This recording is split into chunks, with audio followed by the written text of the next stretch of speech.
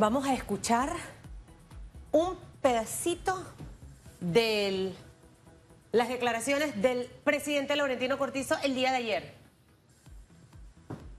Póngalo. Lo que pasó hace un par de días con un diputado a mí me disgustó enormemente. Y no lo voy a permitir. Y estaba en México. Y ese tuit que dice NCC. NCC es Nito Cortizo Point. Lo hice, llamé al canciller y le dije, esto es lo que voy a tuitear en el día de hoy. Porque este no es el país que yo quiero. Ni que queremos la mayoría de los panameños. Me disgustó enormemente. Enormemente. Entonces no podemos permitir eso. Este es un gran país. Un país de mucha gente buena. Y un país donde se tiene que respetar. Aplausos, por favor. Tíreme el aplauso, señor director. Yo quiero darle ese aplauso al señor Laurentino Cortizo porque, mire, donde me metía en el día de ayer, la gente, sea PRD, sea Cambio Democrático, sea Partido Panameñista, sea de la libre postulación, no esté en ningún partido. La gente aplaudió la manera, la forma en la que ayer escuchamos al presidente Laurentino Cortizo. Leía por aquí a diputados del, del CD decirle al presidente Cortizo que regañe a sus hijos del PRD. No, este regaño es para todos al final. Porque al final los diputados del PRD no son los que han hecho todo lo que ha pasado en la Asamblea, Hugo. Oiga, es que, es que es sorprendente a propósito de partidos políticos, pero yo acabo de recibir uno, Cambio Democrático criticando la reforma. Hombre, pero sus diputados votaron a favor de la reforma. Exacto. Entonces, ese lenguaje le hace daño al momento que y vive el país. Tampoco he escuchado, y si estoy equivocada, alguien que me diga, pero yo no he escuchado diputados de cambio democrático, aparte de la señora Mayín Correa y del doctor, este del 810, eh, se me fue el nombre. Ahora regresa el nombre. Solamente a ellos dos los he escuchado hablar del tema de reforma en el periodo de incidencia. Póngame el otro bite, please.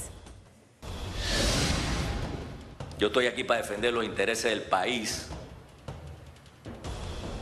Ningún interés económico o político de mi partido o cualquier político o de cualquier partido no está por encima de la República de Panamá. Que eso quede bien claro. Aplauso de nuevo, por favor. Mire, yo sé que esto tiene que haberle molestado a más de cuatro. Pero muy bien dicho, señor presidente, y me alegra que es de los que reconozca que si es de la propia casa, no va a permitir que esto pase por encima de lo que son nuestras leyes. Así que aplauso de nuevo para Laurentino Cortés. Usted sabe lo que yo sí celebro de todo lo que dijo, esencialmente, es que ahí dentro hay diputados que piensan como Laurentino Cortés. Muy bien. Ah, Eso no, ¿Por eso no, eso no lo escuché. Porque él dice que, y usted se enteró, porque nosotros teníamos la información privilegiada, privilegiada aquí, usted se enteró en Bochinches, de lo que había pasado, de esa triangulación, información que hablaba de México, que llegó a Japón, que vino la llamada al Palacio Presidencial, etcétera, etcétera, porque había tanta creatividad de los diputados que, oye, este era peor, pero hubo un momento de quiebre. El presidente dictó las líneas desde Japón y se llamó a diputados y diputadas y el panorama cambió. Ahí, el, ahí lo que me da a entender es que hay diputados y diputadas que sí están en la línea, están montados en el proyecto Y muy bien, pero del que presidente. háganlo sentir, ¿sabe? No Eh, estén callados. Exacto, no tengan miedo, háganlo sentir. Eh, eh, yo tengo otro bochincho, solamente era ese. No, está Juan Diego, tíreme el otro, por favor.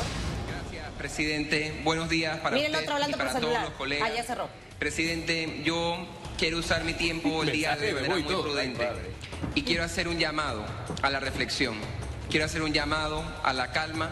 Quiero hacer un llamado a la Asamblea desde su conducto para que asume- asumamos la responsabilidad de lo que ocurre en el país. La Asamblea Nacional desde hace semanas, así como viene cerrando las gradas a cierta hora, está propiciando indirecta y directamente los acontecimientos que se dan a lo largo y ancho de todo el país. La Asamblea, de manera triste, luego de la aprobación en tres debates de la reforma constitucional, ignoró a gran parte de los ciudadanos que en las 10 provincias que visitamos dijeron que querían diferentes cosas en su constitución. Asimismo, la Asamblea. Quiero también darle otro aplauso a Juan Diego y le voy a explicar por qué. Tírele el aplauso, señor director. Dijo algo que lo mencionamos en esta mesa, creo que fue el lunes o martes, cuando, la semana pasada, cuando justo ocurrió lo de la universidad. La Asamblea no puede provocar reacciones innecesarias. ¿Para qué poner una cerca cuando ya se iban? O sea, es algo sin sentido. Mire, Entonces en al eso- final tú sí. estás llenando a la gente de odio, de rabia y estás provocando cosas que en este momento no se necesitan. Y fue muy acertado el comentario de Juan Diego. Mire, este, yo lo aplaudo porque se suma a algo que no la semana pasada, sino que insistentemente le hemos dicho aquí a la Asamblea. Abra sus puertas, eche abajo esa cerca. Y citábamos a Reagan cuando le dijo a Mr. Gorbachev, eche abajo ese muro. Es lo mismo. Señor presidente de la Asamblea, eche abajo ese muro. Y todos los nuevos muros que crean, échenlos abajo. Ayer el presidente, eso también hay que aplaudirlo, se lo dijo, abran sus puertas, conversen con la gente. Eso también merece un aplauso. Pero fíjense, mirando hacia adelante, importante. Hoy el presidente vuelve a hablar.